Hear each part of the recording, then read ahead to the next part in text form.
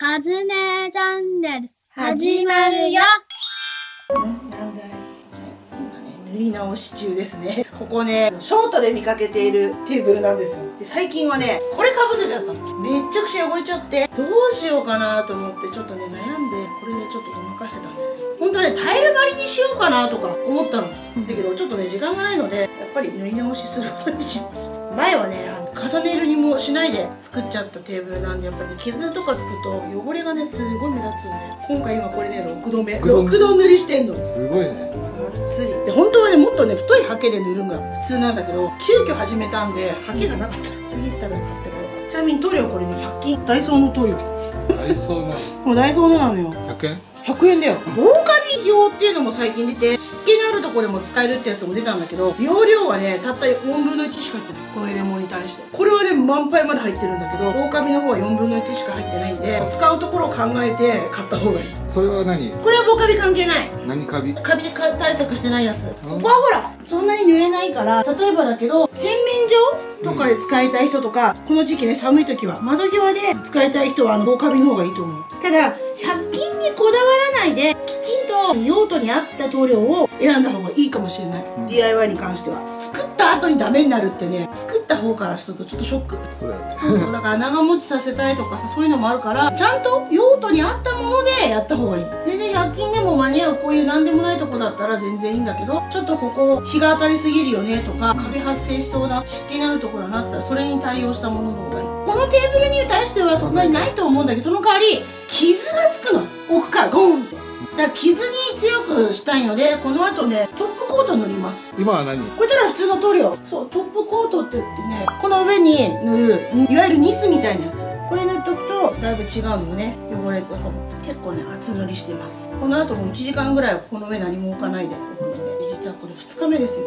昨日からね少しずつ塗ってて今日最後まで行きたいんでこれが仕上げにしたいのよねそんなにすごく綺麗に職人さんが塗るようなあんな腕はないのでわざとねこの波形の跡がついてもいいという感覚で塗ってます。塗りましたよっていうさこれはこれで味があると思って無理はしてないんですよ。本当にね嫌だったらねシートとかあるじゃん今。リメイクシートとか。ああいうの貼った方が多分綺麗。ただリメイクシートは暑さ耐えられないんだよ。ねそうだよね。そうここってさ万が一あったかいもの可能性もあるので結構置くよ。そうそれなんで私この塗って木にしてあるの。この方が少し持つから。コロコロってやつも昔ね試したんだよね。覚えてる？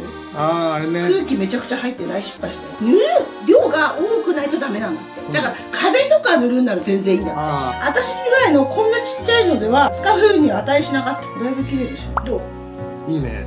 黒とかもね色も良かったんだけどキッチンで使うものはね白が好きなので白使ってます。で今もうね湿気がない時期なんでねなんだかんだ言って乾くと思いますこちら先ほど塗ったテーブルですけどテーブル違う天板キッチンカウンターの天板ですね。3時間以上置いといたんでねカラッカラに乾きました。このまま前は使っちゃったんですよ。そしたらこれねデコボコしたところに傷とか汚れがついちゃって真っ黒になっちゃったんで今度はちゃんと最後の仕上げまでやります。それがねこれ。トップコートと言います。この今の状態の上にコーティングをする感じですよね。私はこれツヤありを選んでます。ツヤなしもあります。トップコートはね基本的に色はないのでこういう塗料なんですよ。白っぽく見えるんですけどこれ乾いたら透明になります。下地がどんな色でも OK 下地に色がついてるやつもあるよ。そうなんだ。そうそうそう。でもあの私が買ってきたやつはどの色で使ってもいいやつね。はいじゃあいきます。ハケもね細いので塗ってたんですけどねめんどくさくなってね太いの買ってきました。全然楽だった。最初からそうすりゃいいのにさ始めたのが急だったからさ。さっき塗ってたの細いやつ。そうめっちゃ細いやつ。1センチとか1 5センチぐらいしか幅がないんでこれ大丈夫。5センチも見た目は全然わかんない。全然わかんないでしょ。私も正直まだわかりません。乾いた時にどのぐらい光るか光らないかの違いだと思う。あこれがうまくいくようだったら例えばだけどあうん。パパの部屋の家具さ白っぽいやつとかたまにあるじゃない？カラーボックスとか、あれを真っ黒に塗装することも可能ってこと。マットブラック。マットブラック。ツヤなしのコーティングこのトップコートを使えばええじゃん。でしょ？そういうのにもしたいんでまずここからやってみて。ちなみに自分で塗るんだよ。塗るよ。うん自分でやってね。塗りの天才だからさ。よく言うよ。塗ったことなんかない？ここ切り使わせれば下の台まで切った人が。そこはもう前の動画にあったんですよ。笑っちゃったねあれはね。それせ説明欄に貼っときますんで。ちょっと向きからね利き腕が右だからさ。ちなみにこれ家の中でやってるんで本当は良くないんですよ。なんだけどもうねこれね外に出せないんですよ片方足がこうついてないっていうか出せないんで仕方なく家の中でやってます。その代わりね換気扇ついてます。窓と換気扇ガンガンにつけて乾かしたりしてます。全然ねトップコートに見た目わかんないからね。うっすらと。トップコートも2回塗るから。これ1回目ね。サラッサラにはなんない。サラッサラにはならない。ピッカピカになる。こんな感じかな。もう1回塗るんでね。じゃあこのまま乾かしますはいじゃあトップコート第2回目。これでラストにします。やっぱりねちょっとねもうね光ってきた。光ってるでしょ？綺麗だね。ね、でもところどころやっぱり光が弱いとこもあるので二度塗りして全体がちゃんと光るようにね調節します。ある程度の時期に塗り直しは必要なんだと思う。壁だってそうだもんね。ましてやこんな毎日さいろいろポタポタ置いてるじゃない。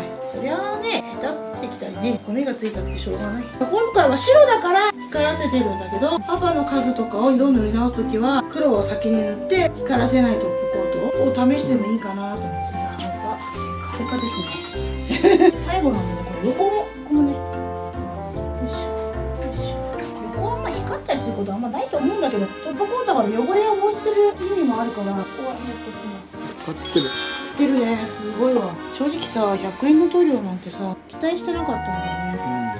でもいい感じかも。何度か塗らなきゃダメってことで前の時もそうだけど多分ね1回か2回ちょっと塗ったかな。しかもすっごい雑に。だから6回塗ってプラス2回塗って8回も。塗ってるそれでこの状態。前は2回塗って終わり。今回も2回でしょトップコートは2回。でもその前はこの白いのに6回塗ってる。すごい光ってる予想以上の光り方。これいいのできた。よしんな感じでどうでしょうかはいオッケー終わりはいお疲れ様はい、あとは乾くまでこのまま置いといてね。はい、どうですかね一応乾いたと思うんですけど。なんかね、光っててね、乾いたか乾いてないかが 触んないとわかんない。っていうぐらいテカテカ。ほら、こんな感じで。光ってるもん映ってる？すごい綺麗になったねあの汚いやつより全然いいよ。ちょっとさ、お試ししたいことがあって、これさ、水濡らしたらどうなるかな前は水濡らすと塗装が剥げたことがある。それがどうなるの？こうなった時に塗装が落ちないかをチェックしたい。あ落ちてない落ちてない大丈夫？おそれは心配だったの。前は落ちた。最初の頃はいいんだよ。2ヶ月ぐらい経ったらこうやって拭いてたら拭いたやつに塗装がつき始めた。それが嫌だったんだよ。どうしてもここの上ってテーブル必ず拭くでしょ。そのために落ちちゃうのよ。やばそれ心配してるの。あ大丈夫だね大丈夫だね。オッケー。うん。そうすればほら毎回拭けて衛生的じゃない、うん。ただもしかしたらアルコールは使わない方がいいかもしれない。あくまで水拭きになっちゃうけどでもだいぶ違うと思うんだよね。ここで食事をするわけじゃないからさいつもテーブルの上には。ここに置くものといったらはいこれですね。これこれこれこうやって。ということですよね。いつもね。ここでねご飯を食ってみんなに持ってってもらってるわけで。これで安心して使えるわ。はいよし。オッケー。はいお世話様でした、はいお疲れ様でした。お疲れ様でした。お疲れ様でした。え？何の会話してるのうちらは最後までご視聴いただきありがとうございました。よかったらチャンネル登録、グッドボタンよろしくお願いいたします。